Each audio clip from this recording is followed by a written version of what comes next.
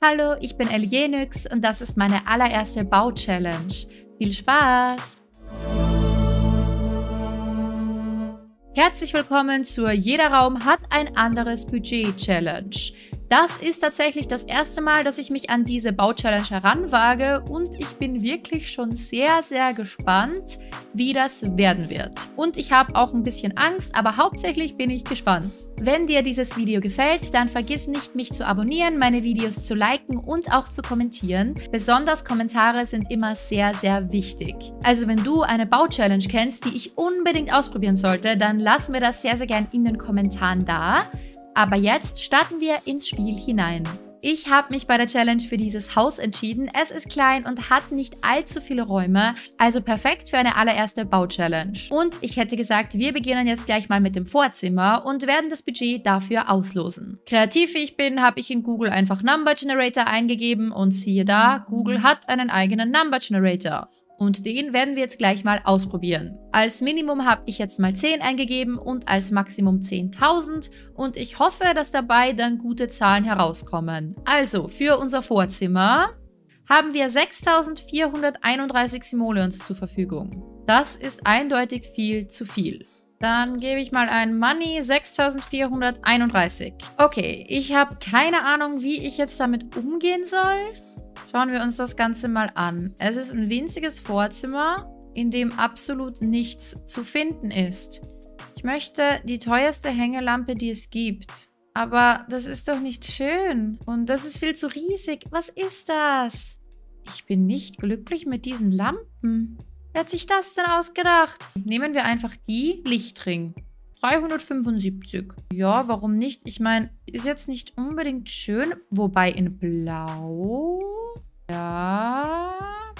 Naja, ich habe Schöneres gesehen, aber es ist nicht so schlimm. Es ist halt auch einfach ein winziges Vorzimmer. Da hat halt auch nichts Platz. Dieser Garderobenschrank ist ziemlich teuer, aber auch ziemlich hässlich. Eine Trendsetter-Kommode. Passt halt nicht ganz. Hohe Kommode.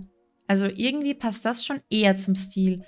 Dann platziere ich jetzt einfach mal das hier in der Ecke.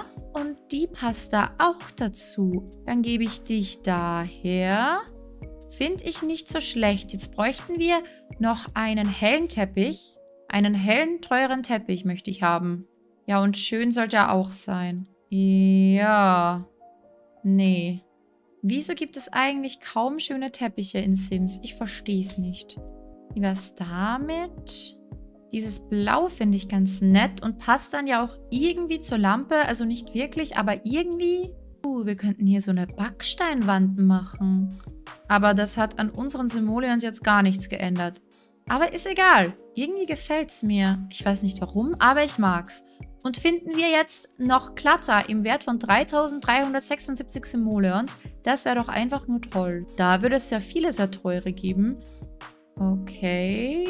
Ein bisschen zu groß vielleicht. Perfekt. Das geben wir dahin. Dann haben wir Nummer 1976. Das schaffen wir locker. Da habe ich jetzt gar keine Angst mehr. Jetzt habe ich eher Angst, dass es zu wenig Geld ist. Nein, das geht sich schon aus. Dann möchte ich einen großen, schönen Spiegel. Der ist nicht groß und nicht schön. Es soll zum Haus passen. Klassisch, altmodisch. So wie der. Irgendwie finde ich keinen schönen Spiegel, deshalb nehme ich einfach den. Der ist nicht so schlecht. Und jetzt noch ein paar andere Sachen. Ja, ich hätte gern Pflanzen. Und das können wir da auch nicht so stehen lassen. Geben wir das wieder weg. Okay, jetzt haben wir wieder viel zu viel Geld.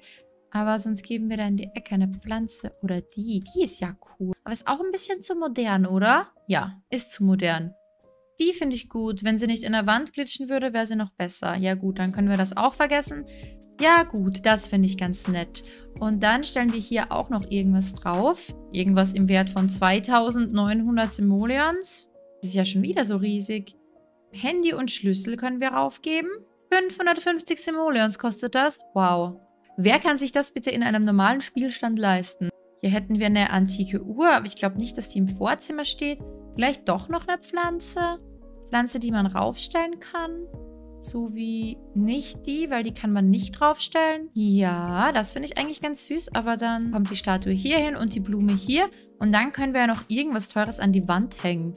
Es wird doch sicher ein teures Bild geben, oder? Wo sind denn teure klassische Gemälde? Viva la Landschaft. Das klingt doch perfekt. Ja, und wo hängen wir dich jetzt hin? In diesem Rahmen. Ganz schlicht und unauffällig. Und dann haben wir noch 191 Simoleons. Was machen wir mit denen jetzt? Vielleicht ein Dornengestrüpp? Nein, ich glaube, es ist ein reicher Haushalt. Immerhin haben sie ein Gemälde von über 2000 Simoleons im Vorzimmer hängen. Taschentrio, das finde ich gut. Das hängen wir da so hin und dann haben wir nur noch 71. Schwangerschaftstest könnten wir zum Beispiel platzieren. Die Pflanzen sind ja auch süß. Perfekt. Die platzieren wir dann auch einfach da daneben. Noch 21. 21 Simoleons. Ja, und was können wir uns mit 21 Simoleons leisten? Was ist eigentlich, wenn ich jetzt nichts finde, das genau 21 Simoleons wert ist? Habe ich dann die Challenge verloren? Oh, 20, das Hängeregal. Das kostet 20 Simoleons, das ist ja riesig. Nevermind. Wir schauen weiter. Karrieretaktisch? Nein. Also irgendwie gibt es absolut nichts, was hier sein sollte. Ein Runentrümmerstein. Kann ich den ganz klein machen? Geht das als Deko durch? Sagen wir einfach, das ist ein unfassbar wertvolles Gestein und deshalb ist das hier im Vorzimmer. Ja, finde ich gut. Ein Simoleon bleibt übrig, aber finde ich absolut in Ordnung. Oder was meint ihr? Habe ich die Challenge jetzt schon verloren? Ich habe absolut keine Ahnung. Wir machen jetzt einfach weiter mit dem nächsten Raum. Das wird unsere Küche, das finde ich eine gute Idee und jetzt werden wir auch dafür das Budget auslosen. Und wie viel dürfen wir für die Küche ausgeben? 6.927. Das ist seltsamerweise so nah am alten Betrag. Verstehe ich nicht ganz. Aber okay. Money 6927. Und hier haben wir jetzt unsere Küche. Ich liebe diese Fenster da. Die sind so süß. Aber ich weiß noch nicht genau, wie wir jetzt am besten beginnen. Ich platziere mal einfach mein Lieblingslicht, nur damit wir etwas sehen. Und dann schauen wir uns die Küche jetzt gleich mal ein wenig genauer an. Was sind denn schöne Theken? Ich glaube, ich nehme tatsächlich die weil ich liebe die Theken und sie passen einfach so gut zu diesem Cottage-Lifestyle. Dann möchte ich einen ganz teuren Kühlschrank. Der sieht zu teuer aus. Soll schon ein bisschen oldschool sein. Ja, am besten wird halt schon der passen von Cottage Living, aber der ist halt so viel günstiger. Nein, ich möchte schon einen teuren. Ja, wir nehmen einfach den in schwarz. Da wird er vermutlich nicht stehen bleiben, aber ich lasse ihn jetzt mal in der Zwischenzeit da stehen. Herd. Ja, ist doch super toll. Gut, wie machen wir das Ganze jetzt? Ich hätte gesagt, wir platzieren hier unseren Herd. Daneben haben wir den Kühlschrank. Und dann so um die Ecke kommt dann die Theke. Hier haben wir das Eckteil. Eigentlich könnten wir hier mit der Theke weitermachen. Ja, das ist doch eigentlich ganz süß. Wobei vielleicht sollten wir es so machen. Hier den Kühlschrank, hier den Herd und dann hier die Theken. Oh ja, das ist so süß. Dann brauchen wir natürlich noch die passenden Oberschränke. Ja, das finde ich mittelgut. Irgendwie sieht es jetzt wahnsinnig überfüllt aus. Ja, ich glaube, so ist es besser. Ich weiß auch nicht warum. Ich glaube, weil die Wände so niedrig sind. Dadurch sieht das einfach so schnell überfüllt aus. Und damit die Küche vollständig ist, brauchen wir natürlich noch einen Tisch. Probieren wir einfach mal, wie das aussieht, wenn wir ihn hier so hinstellen. Ich hoffe, die Sims kommen dann noch in den Raum rein. Das ist ja immer so eine Sache. Vielleicht den in schwarz, dann passt er so zur restlichen Küche. Und jetzt brauchen wir natürlich noch ein paar Stühle. Irgendwie ist das ganz schön knapp und ich habe keine Ahnung, ob die Sims da dann rankommen. Aber egal, wir wollen eh nicht darin spielen, deshalb lasse ich das jetzt einfach mal so. Und dann brauchen wir natürlich noch jede Menge Klatter. Schauen wir jetzt mal, ob wir eine Pflanze finden, die dazu passt. Uh, das ist süß, aber passt halt nicht so auf dem Esstisch. Ja, man merkt, ich baue nicht so oft, aber wie gesagt, ich möchte jetzt öfter bauen. Deshalb ist das jetzt eine sehr, sehr gute Übung. Oh, ist das süß. Ja, stellen wir das da auf den Tisch. Und dann brauchen wir hier natürlich noch ein paar Geräte und ein bisschen Klatter. Ja, gut. Wir haben irgendwie nur mehr 407 Simoleons. Das ging tatsächlich schneller als gedacht. Hier hätten wir zwei Töpfe. Die stelle ich einfach mal da ins Eck. Und eine Keksdose. Die in blau. Ja, das sieht doch richtig toll aus. Also, mir gefällt es zumindest. Wenn es euch nicht gefällt, könnt ihr es natürlich auch gerne in die Kommentare schreiben. Und dann haben wir kein Geld mehr. Okay, gut. Vielleicht verkaufen wir doch die Töpfe und auch die Keksdose. Die sind eigentlich für nichts. Aber ich finde den Krug toll. Und ich finde die Teekanne toll. Und dann gibt es hier nämlich auch noch so kleine Behälter. Die passen da ja auch perfekt hin. Machen wir vielleicht doch alles in diesem Gelb. Dann passt es besser Ist das das gleiche Gelb? Was gehört denn da zusammen? Ja gut, nehmen wir einfach das und hier nehme ich auch das. Dann passen die beiden Sachen zusammen und alles passt perfekt zur Küche. Oh mein Gott, es ist so süß. Vielleicht finden wir was, was wir hier an die Wand hängen können. Das finde ich ganz süß. Ich meine, es passt jetzt nicht so zur teuren Einrichtung, aber dann hat es zumindest irgendwie etwas Persönlicheres. Dann haben wir schon wieder fast kein Geld mehr. Naja, vertikaler Wandbehang. Das ist nicht so schön. Können wir das vielleicht noch irgendwo hinhängen? Ich finde, das wird da sehr gut passen. Also keine Ahnung, ob die Sims dann alles machen können, was sie machen sollten. Aber wie gesagt, wir spielen darin ja nicht. Irgendwie finde ich süß. Ich meine, irgendwie ist es auch voll im Weg. Nein. Okay, es ist voll im Weg. Wir haben noch 52 Simoleons. Warum ist das alles so riesig? Langsam kommt mir vor, in diesem Haus ist alles zu klein. Ein Wäscheregal. Das ist eigentlich süß. Dann hängen wir das da so an die Wand. Ist ein bisschen im Weg, aber nicht wirklich. Und dann haben wir noch zwei Simoleons. Im letzten Zimmer blieb uns ein Simoleon über, jetzt zwei. Ich glaube, das ist in Ordnung. Und ich finde die Küche eigentlich ganz süß. Ich meine, sie ist sehr basic. Also vielleicht hatten wir doch nicht so viel Geld zur Verfügung, weil irgendwie, ja, so würde ich die Küche eigentlich nicht lassen. Aber wir haben eben kein Geld mehr. Und deshalb geht es auf zum nächsten Zimmer. Unser nächstes Zimmer ist das Schlafzimmer und dann werden wir hierfür auch gleich das Budget auswürfeln. Und diesmal haben wir 668 Simoleons zur Verfügung. Das ist tatsächlich sehr, sehr wenig. Aber gut, Challenge accepted. Wie gesagt, Money 668 und das soll für ein ganzes Schlafzimmer reichen. Keine Ahnung, wie sich das ausgehen soll. Geht sich da überhaupt ein Bett aus? Was ist das billigste Bett, das wir haben? Naja, ein Doppelbett soll es eigentlich schon sein. Und die sind doch alle nicht schön. Das ist sogar sehr problematisch. Oder wir nehmen das. Das wäre wenigstens ein schönes Einzelbett. Wobei, das ist eigentlich auch okay. Ich nehme mal das Bett. Und dann nehme ich nochmal diese Lampe, damit wir ein bisschen Licht haben. Das ist jetzt ganz schön schwer, wie wir das einrichten sollen. Es ist zu wenig Geld. Ich lasse das Bett mal da stehen, weil so, wenn es mitten im Raum steht, verbraucht es schön viel Platz. Ich glaube, ich werde hier so eine kleine Leseecke machen. Also das wollte ich eigentlich. Aber jetzt weiß ich natürlich nicht, ob wir dafür überhaupt irgendwie Geld haben. Was ist denn der günstigste Stuhl? 70. Naja, aber der ist halt so hässlich. Nein, das können wir nicht machen. Was ist die günstigste Couch? Sonst nehme ich vielleicht tatsächlich diese. Und dann könnten wir eins hier platzieren und nicht noch eins hier, weil es geht sich nicht aus. Oh, wow. Ich weiß jetzt gar nicht, was ich machen soll. Beginnen wir besser mit einem schönen Teppich. Schöne Teppiche machen die Welt besser. Ich wollte diesen Teppich hier. Ich möchte hier eine Leseecke haben. Das ist eine ganz schlechte Idee. Dann haben wir nur mehr 48 Simoleons. Ich weiß nicht, was ich tun soll. Die Teppiche sind alle nicht schön. Was soll das sein? Da ist einfach ein angeknabberter Teppich. Warum? Wer will einen angeknabberten Teppich? Die sind alle viel zu bunt. Wir können das halt ganz groß machen. Und dann geben wir den da so unten rein. Finde ich nicht so schlecht. Natürlich ist das nicht echtes Fell. Sowas würde ich niemals unterstützen. Das ist einfach Kunstfell. Deshalb ist es ja auch so günstig. Und dann stellen wir hier vielleicht eine Lampe rein. Ja, finde ich nicht so schlecht. Und jetzt müssen wir nur noch alle Sachen finden, die günstiger als 93 Simoleons sind und sie hier platzieren. Naja, die will ich aber nicht. Die ganzen Sessel will ich auch nicht unbedingt. Die sind ja alle nicht schön. Aber das finde ich nicht so schlecht. Ich meine, zumindest macht es Sinn, dass die da steht. Nein, dann nehmen wir lieber das. Dieses Hängeregal. Aber vielleicht hier drüben. Okay, wir geben da dieses Hängeregal hin. Das finde ich nämlich nicht schlecht. Und dann geben wir da dieses Hängeregal hin. Dann haben wir zwei verschiedene Hängeregale, die unglaublich günstig waren, was unglaublich gut ist, weil wir kein Geld haben. Dann nehmen wir die Lampe und stellen sie in diese Ecke.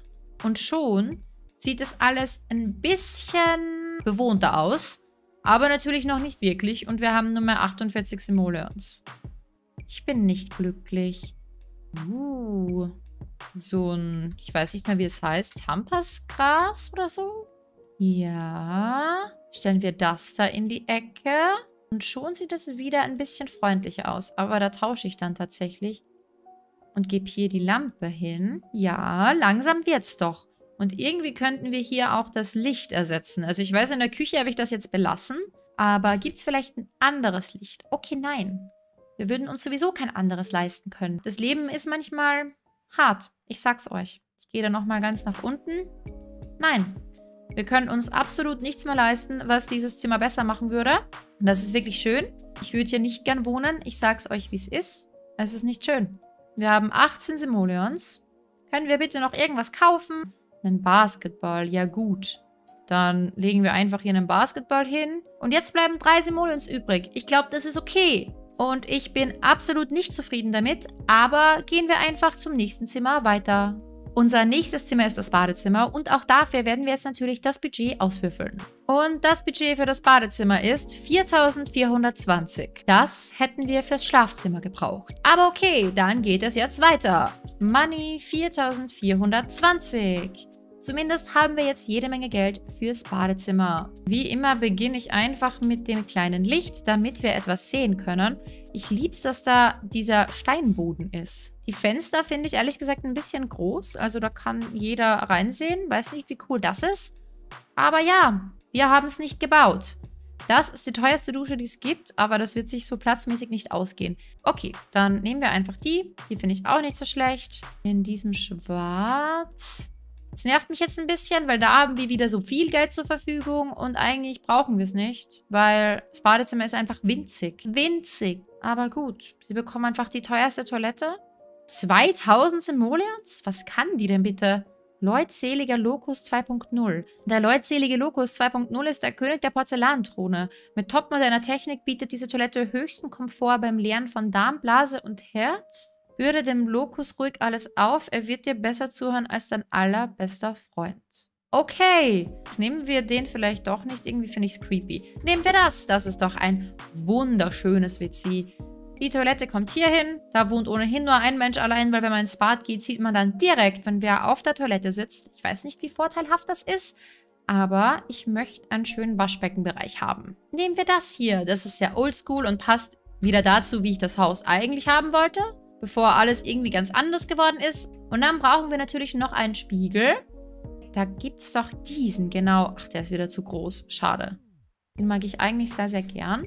Oder den. Das ist ein guter Badezimmerspiegel, finde ich. Wenn es den halt in schwarz gibt. Perfekt. Und jetzt möchte ich nur noch so eine Badematte. Ich glaube, da gibt es auch ein paar, die sich dafür sehr gut eignen können. Aber wir haben noch 800 Simoleons, also sollte es vielleicht eine teurere sein. Ach, das ist alles so schwer. Schreibt mir noch mal in die Kommentare, ob ihr auch schon mal so eine Bau-Challenge gemacht habt und wie es euch ergangen ist. Weil irgendwie habe ich mir das viel, viel leichter vorgestellt. Also ich weiß auch nicht warum, aber ich finde es gerade sehr schwer und irgendwie passt nichts zusammen. Und ich möchte einfach nicht drüber nachdenken, wie viel Geld ich ausgebe. Ach, ich weiß nicht. Irgendwie ist das alles blöd. Wobei das ja gut, wir nehmen einfach das. Das ist schon in Ordnung. Es ist nicht unglaublich schön, aber es ist in Ordnung. Und das muss für diese Challenge immerhin reichen. Vielleicht was an der Wand. Naja, das ist schon ein bisschen hässlich. Gut, lassen wir es dann doch sein. Und das finde ich süß, eine Efeutute. Aber das passt jetzt halt wieder gar nicht dazu. Warum ist das so schwer? Vorhänge, das ist das, was wir wirklich hier brauchen. Warum bin ich nicht schon früher drauf gekommen? Wir brauchen doch eindeutig Vorhänge, sonst sieht da ja jeder rein. Und das möchten wir auf keinen Fall. Das habe ich vergessen. Vorhänge sind ja immer so eine Sache. Oh Gott, nein. Gibt es Vorhänge, die zu diesem Fenster passen? Ja, sonst müssten wir das nehmen, aber das ist halt einfach nicht schön. Ja, oder wir machen das außen. Außen wird es halt mehr Sinn machen. Aber dann ist es ja nicht im Raum. Und die Challenge ist ja im Raum. Gibt's das in der neutralen Farbe? Ich nehme jetzt einfach das. Bin ich glücklich? Nein. Aber diese Challenge macht mich sowieso nicht glücklich. Da funktioniert einfach nichts nach Plan. Und wir haben noch immer 160 Simoleons. Gibt es ein schönes Bild für die Wand? Allerlei Stillleben. Das ist doch schön. Das hängen wir da jetzt an die Wand. Toll.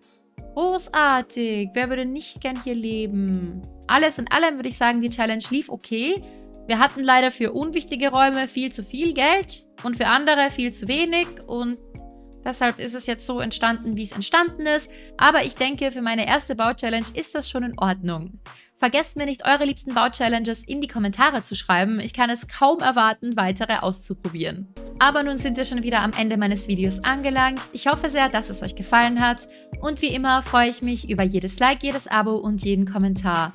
Und ich hoffe, wir sehen uns in meinem nächsten Video wieder. Bis bald!